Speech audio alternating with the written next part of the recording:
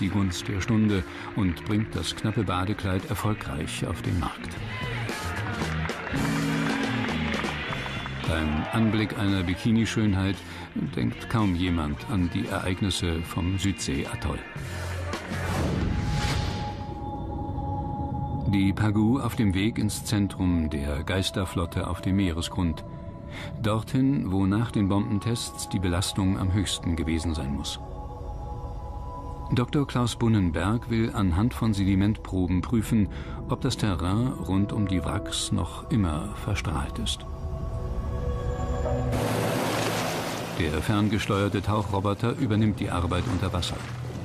Ist das Vehikel erst einmal richtig positioniert, lassen sich die Greifarme des Hightech-Geräts vom U-Boot aus mühelos manövrieren.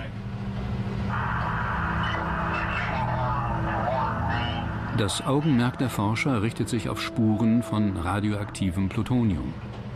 Das giftige Schwermetall überdauert Jahrtausende, denn es ist nicht wasserlöslich.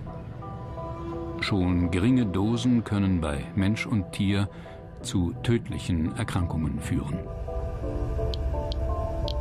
Ursprünglich muss nach den Versuchen hier eine sehr intensive Kontamination stattgefunden haben.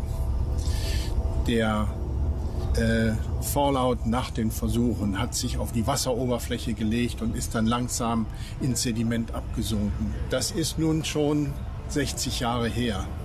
Und seitdem hat sicher der Meeres, die Meeresströmung sehr viel Aktivität verteilt und ausgewaschen.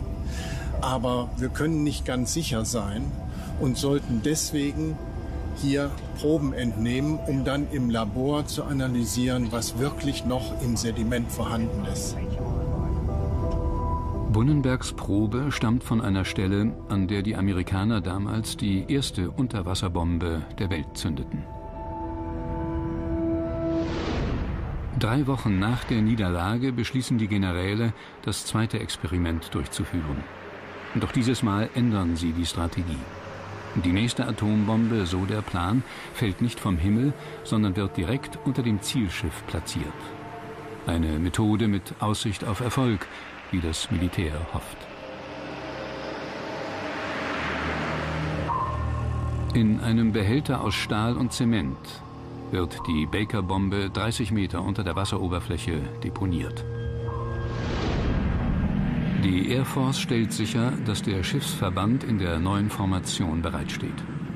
Mit acht weiteren Kähnen bilden die Saratoga und die Nagato einen Kreis, der weniger als zwei Kilometer vom Punkt der Detonation entfernt liegt. Die Nagato galt als unsinkbar. Sie zu vernichten war für das Militär ein symbolischer Akt der Vergeltung. Die amerikanische Marine wollte die Nagato unter allen Umständen auf den Meeresgrund schicken. Um völlig sicher zu gehen, zog man die Nagato für den Baker-Test ins Zentrum der geplanten Explosion. Man kann sagen, die Marine brauchte den Untergang der Nagato für ihre Propaganda. Uh, Und es war eine späte Rache für Pearl Harbor. Kind of like a revenge for Pearl Harbor. Die Nagato war das Flaggschiff der Japaner. Von dort aus erteilte Admiral Yamamoto am 2. Dezember 1941 den Befehl zum Angriff. Der Überraschungscoup auf Pearl Harbor endete für die Amerikaner im Desaster. Am 25. Juli 1946 ist Baker Day. In der Lagune des Bikini-Atolls findet der erste Test mit der Unterwasserbombe statt. Eine apokalyptische Weltpremiere.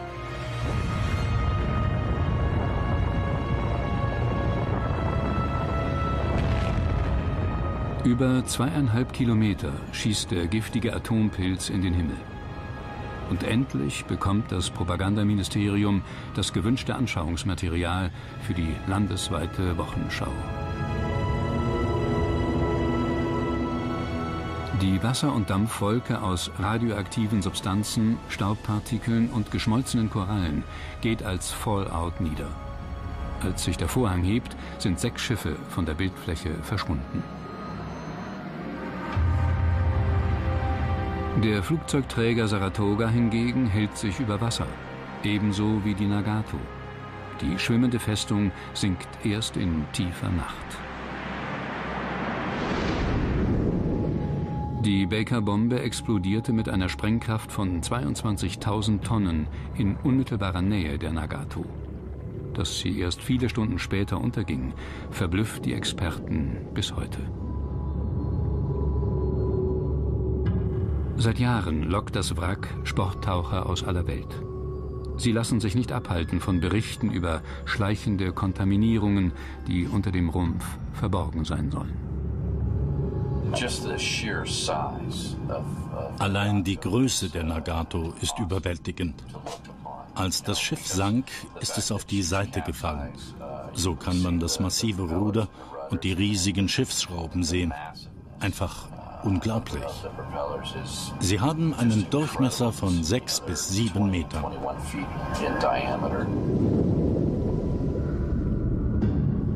Die letzten Werte, die Experten im Auftrag der Regierung gemessen haben, stammen aus den 1980er Jahren. Die Verstrahlung gab damals noch immer Anlass zur Sorge. Aktuelle Zahlen fehlen jedoch. Ein neuer Forschungsauftrag existiert nicht. Direkt nach der Detonation aber war der Wert nachweislich sogar lebensbedrohlich. Trotzdem schicken die Befehlshaber ihre Soldaten als mobile Putztruppe auf die verbliebenen Schiffe in der Lagune.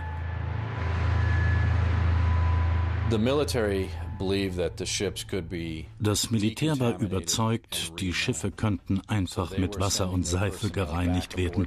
Sie wollten die Schiffe sogar wieder mit Seeleuten besetzen. Die Männer mussten an Bord gehen und alles abschrauben. Zwar warnten die Wissenschaftler vor der extrem hohen Verstrahlung, sie betrug immerhin das 50-fache der normalen Dosis.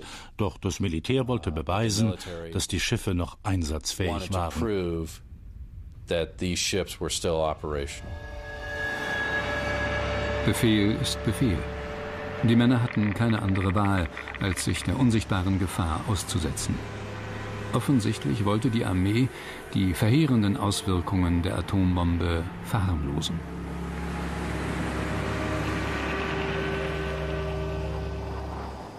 Die Treue zum Vaterland bezahlen viele der Bikini-Soldaten mit ihrer Gesundheit. Jahrzehnte später fordert Operation Crossroads noch immer hohen Tribut. David Jordan kommt als 18-Jähriger auf einem Versorgungsschiff in die Südsee. Der Veteran gehörte damals zum nuklearen Reinigungstrupp.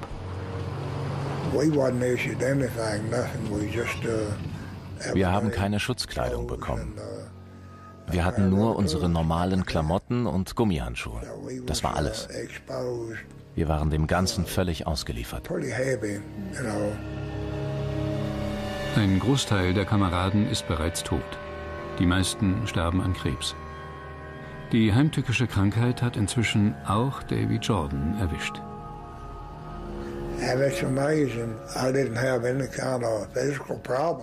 Es ist erstaunlich.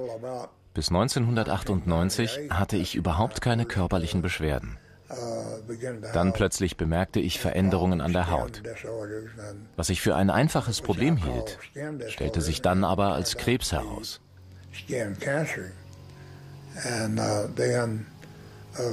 Seit einiger Zeit verschlechtert sich mein Zustand zusehends. Inzwischen haben die Ärzte bei mir drei verschiedene Arten von Krebs festgestellt. Die Behandlungskosten übersteigen schon lange die finanziellen Möglichkeiten des Veteranen. Seit Jahren ringt der kranke Mann mit den Vereinigten Staaten um eine angemessene Entschädigung. Bisher ohne Erfolg. Die zuständige Behörde will nicht anerkennen, dass meine Erkrankung durch die hohe Strahlenbelastung ausgelöst wurde. Sie wollen das einfach nicht eingestehen. Zumindest bis jetzt nicht. Ein Zugeständnis seitens der Regierung scheint aussichtslos. Bekommt David Jordan recht, ist ein Präzedenzfall geschaffen. Tausende Soldaten könnten ähnliche Ansprüche geltend machen. Eine Frage des Prinzips. Auf Wiedergutmachung warten auch die Bikinianer von Majuro. Die Nachbarinsel wird 1946 für viele Familien zum Auffangbecken. Die Menschen hängen am Tropf der USA. Die arme Region bietet nur wenige Arbeitsplätze. Die Prognosen klingen nicht rosig. Den Vertriebenen überweist die Regierung in Washington monatlich 70 Dollar pro Person. Doch damit geben sich die alten Bikinianer nicht zufrieden. Sie möchten zurück in ihre Heimat. Der Amerikaner Jack Niedenthal vertritt die Interessen der Insulaner. Er hofft, dass die Army ihr Versprechen, das Atoll zurückzugeben, endlich einlöst. Die Bikinianer haben bislang 170 Millionen Dollar erhalten. Doch sie wollen nur, dass ihr Atoll von der Strahlung befreit wird. Und das ist noch nicht passiert. Die Amerikaner sagen, hier ist Geld, das muss reichen. Die Bikinianer sagen, nein, das reicht nicht.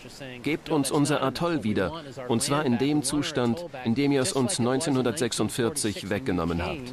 Und das ist nicht passiert. Die Forderung der Ureinwohner findet nur wenig Gehör, zumal ein Bericht des US-Energieministeriums vorliegt. 1967 prüft das Amt den Fall Bikini und kommt zu einem schlichten Resultat. Die Strahlenbelastung, der die bikinianische Bevölkerung bei einer Rückkehr ausgesetzt wäre, stellt keine erhebliche Gefährdung ihrer Gesundheit dar. 139 Auswanderer kehren daraufhin auf das Atoll zurück. Ein kurzer Aufenthalt. Schon bald zeigt sich, der Einheimischen wichtigstes Nahrungsmittel, die Kokosnuss, ist radioaktiv belastet. Schon bei der ersten Vertreibung waren wir todtraurig. Nach Jahrzehnten durften wir endlich heim. Und dann mussten wir wieder weichen, wegen des Gifts. Die Amerikaner spielten mit uns Baseball. Sie schubsten uns von einem Ort zum nächsten.